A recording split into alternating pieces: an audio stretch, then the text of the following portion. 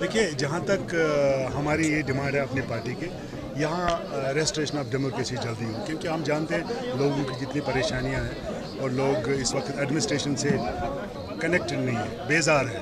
और यही नतीजा कि हम कोशिश कर रहे हैं, हम गवर्नमेंट ऑफ़ इंडिया को भी बता दिया और उम्मीद करते हैं कि जल्दी जल्दी हो और लग भी रहा है शायद, जैसे प्रधानमंत्री ने अभी पंद्रह अगस्त के उस लाल किले पे बताया कि इलेक्शन होगा। मुझे लग रहा है मार्च, अप्रैल में चांसेस है इलेक्शन होने के। और ये भी एक कड़ी है पोलिटिकल पार्टियों का होता रहता है। जल से जुलूस कन्वेंशन वगैरह प्रोसेशंस एक प्रोसेस है हमारी डेमोक्रेसी में। इसी का एक हिस्सा है। जहाँ तक स्टेट का सवाल है इसका तो प्रॉमिस प्रधानमंत्री और होम मिनिस्टर ने फ्लोर द हाउस पर भी किया और बार बार कह रहे हैं। हम उम्मीद रखते हैं कि वो जल्दी रेस्टोर करें इलेक्शन से पहले ही स्टेट रेस्टोर करें। लेकिन इलेक्शन तो लड़ना ही लड़ना है, क्योंकि पॉलिटिकल प्रोसेस को तो उसमें हिस्सा लेना ही पड़ेगा। हमारी पार्टी बनी किस लिए?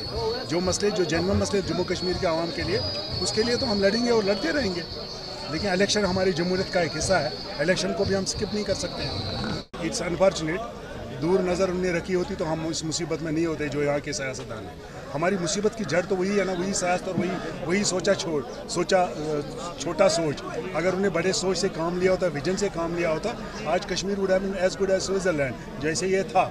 लेकिन उन्हीं के तो वो हम कांटे इस वक्त निकाल रहे हैं। अफ़गानिस्तान और हिंदुस्तान को तो हम एक ही नज़र से तो ये क्या इट्स ईजी वाक उठो जी, निकलो। वहाँ तो अमेरिका और ये पता नहीं क्या सांठ हो गया, तभी जाके अपना फौज ने लड़ा और वहाँ से उनका भाग गया ये जो प्रेसिडेंट था उनको अनफॉर्चुनेटली और फौज ने भी कोई इसमें हिस्सा नहीं लिया। वो तो आए सत्तर हज़ार, तीन तीन तीन लाख को ऐसा कर दिया।